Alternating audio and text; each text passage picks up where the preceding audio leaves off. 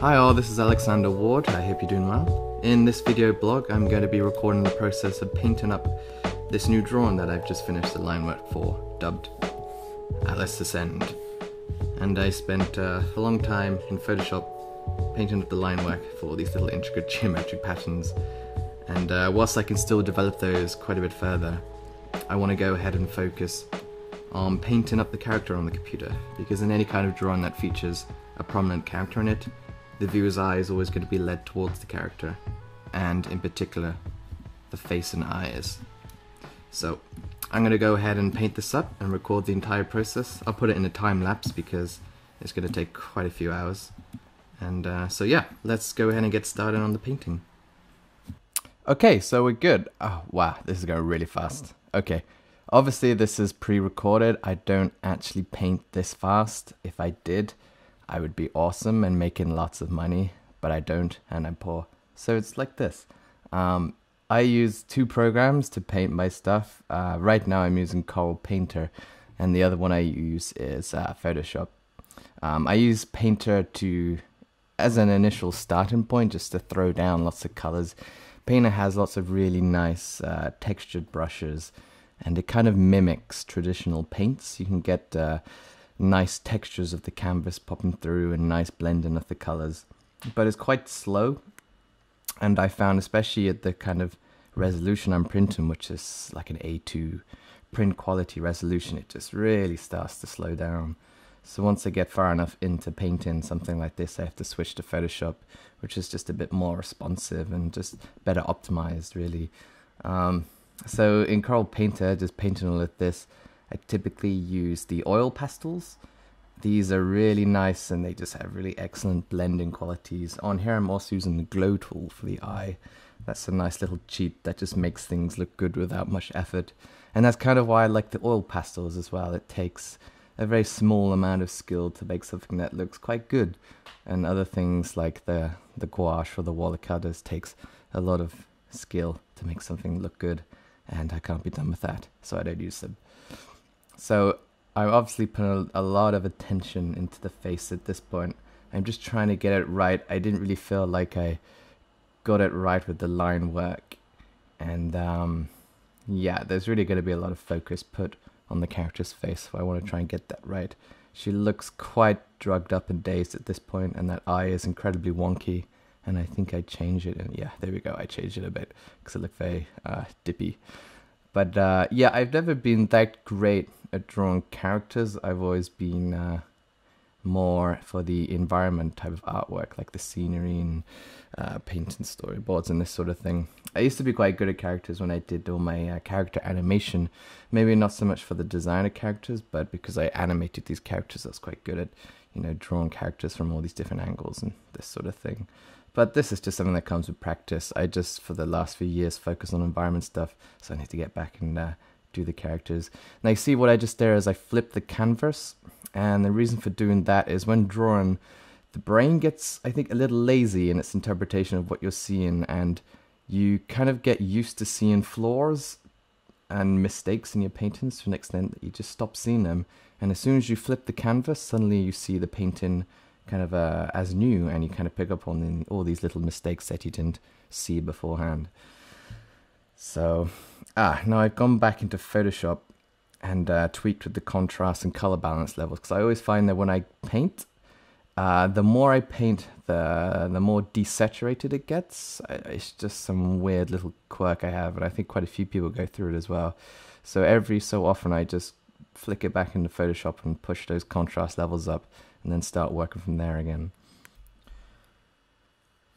And um, yeah, so I think in a moment I move on to the background. I feel like the characters reached a point where I'm okay just for the moment. I'll come back and finish off the details later.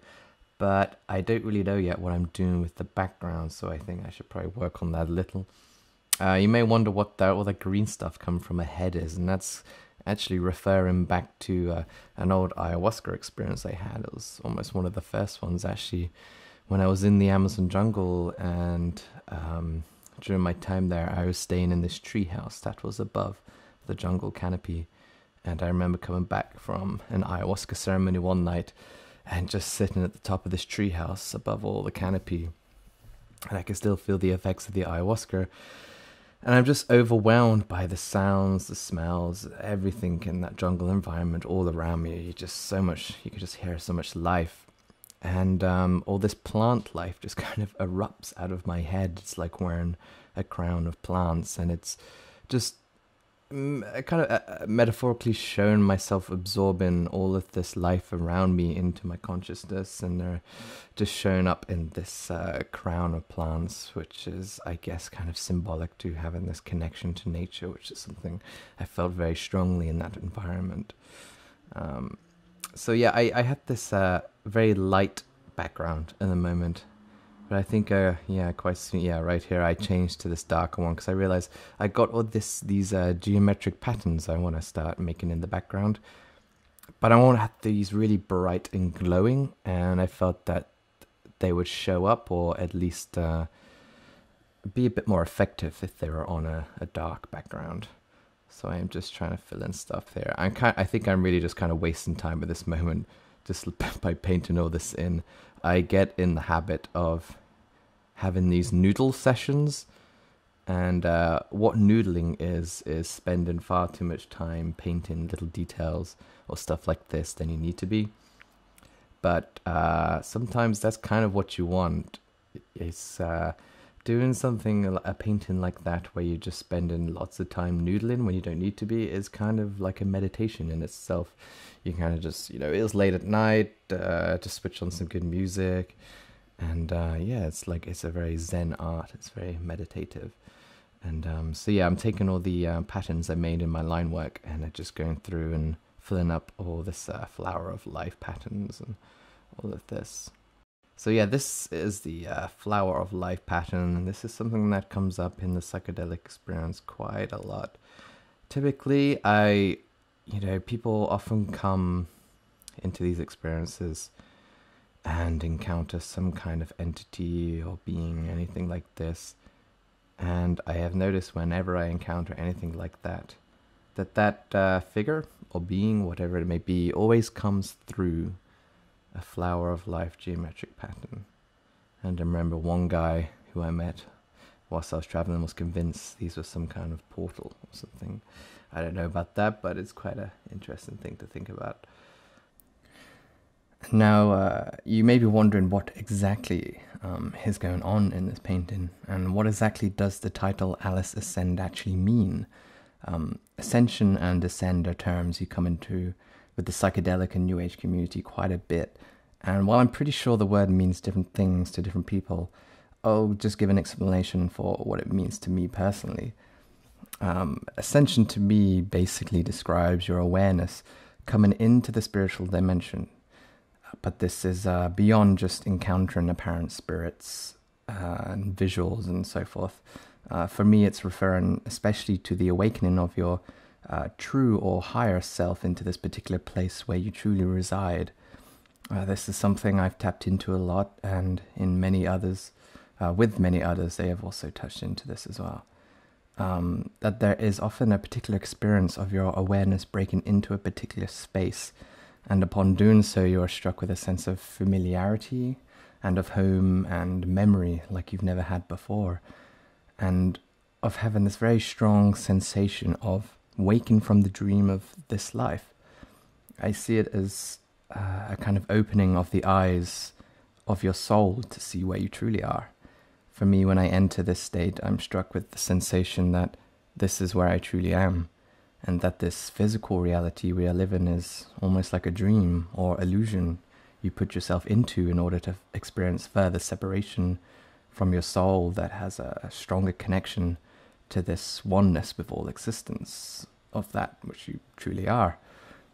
So it's like playing the game of life, playing the game of separation from your true self, which is what people call God or whatever. And uh, yeah, I remember Alan Watts used to call this the game of cosmic hide and seek, of finding and losing yourself. Uh, whether that ascension can be sustained, I don't know. But when I go there and realize again, of course, this is where I truly am, I then realize we've obviously chosen to inhabit this reality for a reason. then it's about how to make this current reality a bit better whilst losing your fear of death by encountering your eternal self, your eternal form. I know there are quite a few others I've met who have had the same experience, the same sensations. And to people of no experience with psychedelics, it's easy to write these things off as simple visionary hallucinations. But it's really not just the visual aspect, nor that which is most strongest, but the feelings and memories that come alongside that experience. And it needs to be felt inside your own self to understand it. Words and explanations are mere shadows of the form. Um, just to say what I'm doing here right now, this is I've used this up in Painter. They have a neat function where it's like a kaleidoscope, and it kind of mirrors everything you're drawing into a, a fractal type of pattern.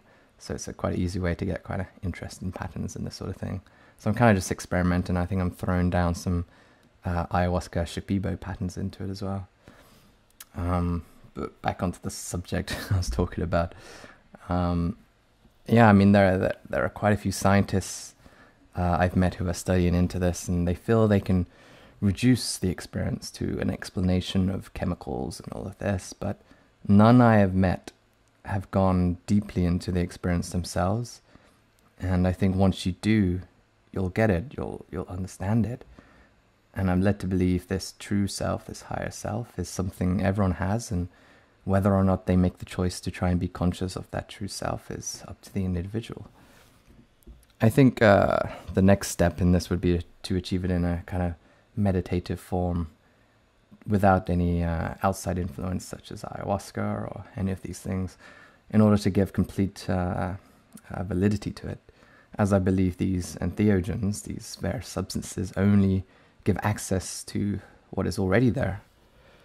So that is the ascension concept, at least by my accounts. Um, and in this painting, uh, I think as you just saw a little earlier, Alice is holding these psilocybin mushrooms to show that she's kind of reaching this state via the aid of the sacred mushroom. Um, I thought about doing the uh, iconic red and white dot mushroom, but since those aren't technically the psychedelic mushroom, I felt kind of wrong about using it, and instead uh, opted for the uh, Liberty Cap psilocybin mushroom, seen often in the uh, very scenic parts of the United Kingdom. And uh, right now, I just kind of decided midway through the painting that I was going to add some of these uh, these patterns. You see, if you've ever been to Peru and you encountered the shaman there, um, uh, in particular, the the Shipibo uh, ayahuasqueras, they have all the they sell all these uh, nice embroidery of all these uh, very intricate and delicate little patterns. And it has been said that and if you find very old shaman who haven't, I guess, been diluted through the generations, uh, these are actually it's a kind of like a sheet music, where each of the patterns refer to uh, a different type of song, uh, the, the uh, icaros that the shamans sing. And uh, yeah, I think it was rumored that if you do find a very old, powerful shaman, they can actually read a lot of these patterns and actually uh, they can decipher the song in the pattern. But I mean, I think as it is now, you know, they they sell a lot of these uh, nice embroideries. So I think now the people actually making these things, they don't realize that they're they don't realize the the old concept that these are songs. So they just kind of copy the patterns that they've learned from uh, all the uh, the things they learned in the past. But I guess they are all still referencing those old ways where the people could actually read the songs and so I guess in there you can still they could still see the elements of the song, and also they say it could be like a map of the uh, the dimensional hyperspace realms and all this sort of thing. So yeah, this this was great for my uh, noodle uh, appreciating uh, methods, where I could just draw these patterns and have some nice music playing, and just be in a very meditative state, and just chill out late at night so yeah, that's uh, the Shipibo pattern. Um, and kind of just copying and mirroring it across so I don't have to spend all the effort painting it all the time. Um, but yeah, with the, the psilocybin mushroom, that was actually my first ever experience with psychedelics. I, uh, I was never really into it that much at all, but I kind of came into it uh, on an environmental basis. I was working on some environmental documentaries, and this got me led me to meet certain people who. Uh, oh, the psychedelics play a huge role in when you meet a lot of these people interested in various environmental concerns, because it seems by their very nature, the way they work, and often the messages you get is all about developing this symbiotic relationship to nature. So that was kind of, I mean, I had no interest in any of these things it was just through my interest into all these environmental issues that I got into the psychedelic side of things and just realized what a powerful uh, component they actually are to it. Um, so yeah, my first experience with this, with uh, the mushroom, going out to scenic places in the United Kingdom, like the Lake District, picking up, picking them, and uh, just picking them raw as you just go out trekking over the mountains and things, and then uh, yeah, proceeding to take them around a campfire deep in the woods. And I guess I was affected by culture that I thought these things were uh, something negative. And just remembering all those fears just leaving me completely when I went into the experience. Then uh, I guess I never felt more at peace in my life when I was in that state.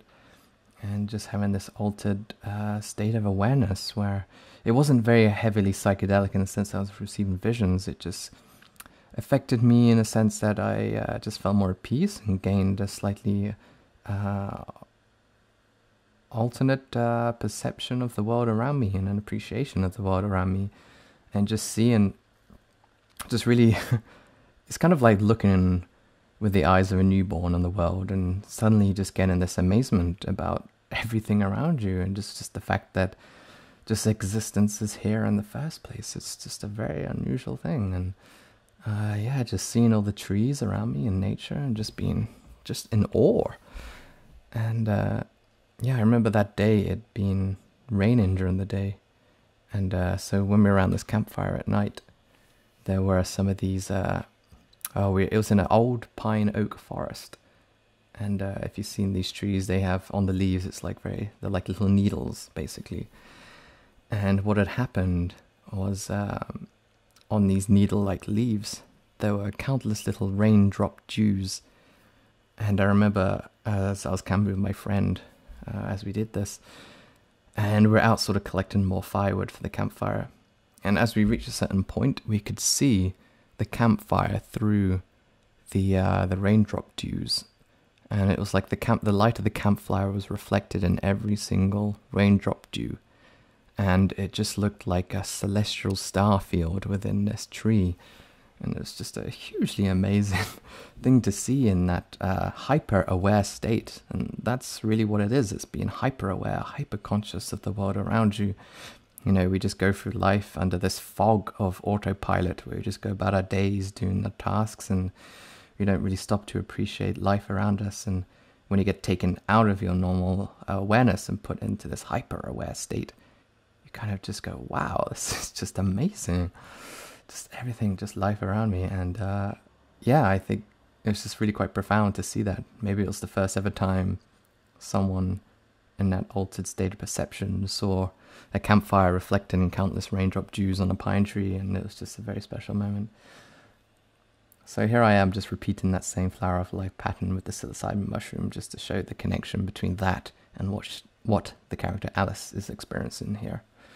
And uh, oh god, yeah, I'm painting, trying to get these hands right, but hands are pretty much the hardest thing to draw on a character.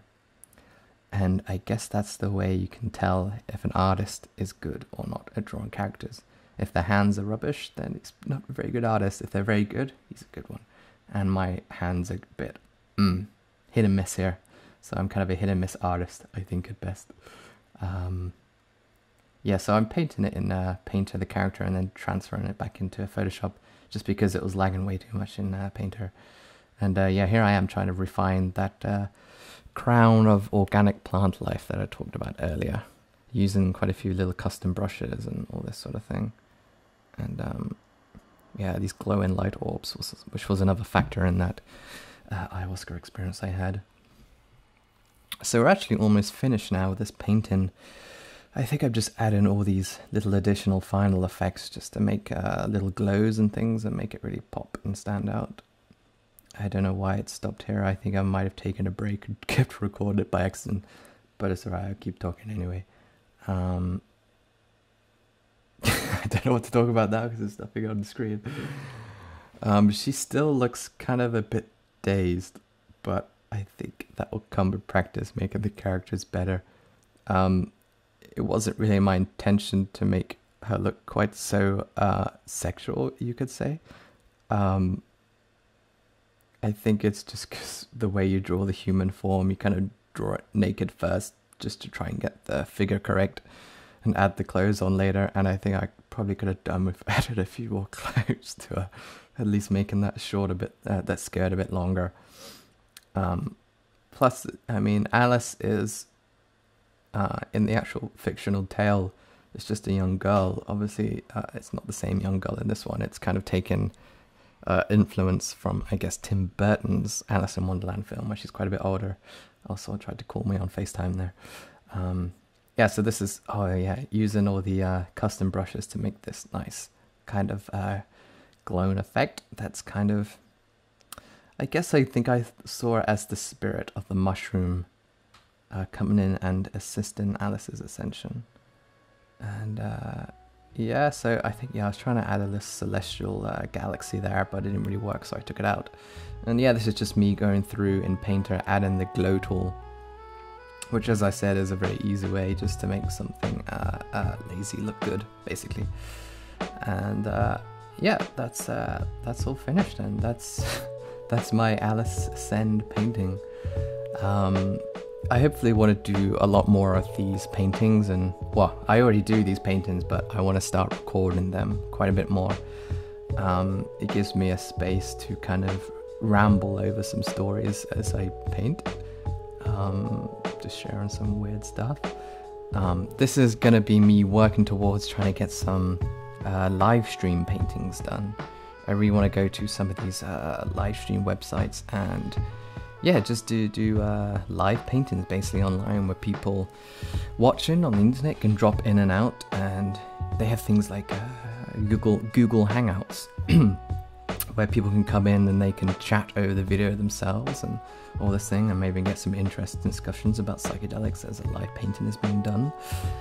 And uh, that will also, yeah, I mean, I don't quite know how the procedure works, but um, hopefully I can try and also record the live streams as well. So for people that missed the live stream, I can actually upload it to YouTube as well. Uh, so yeah, that that's it. Um, thank you for your patience and watching through this and listening to me ramble on. And uh, yeah, I guess uh, tune in for the next video blog. I think the next one, um, I just recently got back from the, the breaking convention where my film screened. And uh, basically the screening which I was late for and I missed it. Uh, but other people were there to introduce it, so that's fine. So I'll probably talk about that in the next one and then hopefully uh, in the one after that get another painting done because I'm on a roll with these paintings and I want to keep them going. I've had a bit of a break with my artwork as I delved into film work because I felt uh, bloody stagnant with my artwork and stuck, didn't know where to go with it. So I experimented with film, but I really missed my artwork, so now I'm back doing that. And I hope you get to see many more like this. Okay, that's it. Peace.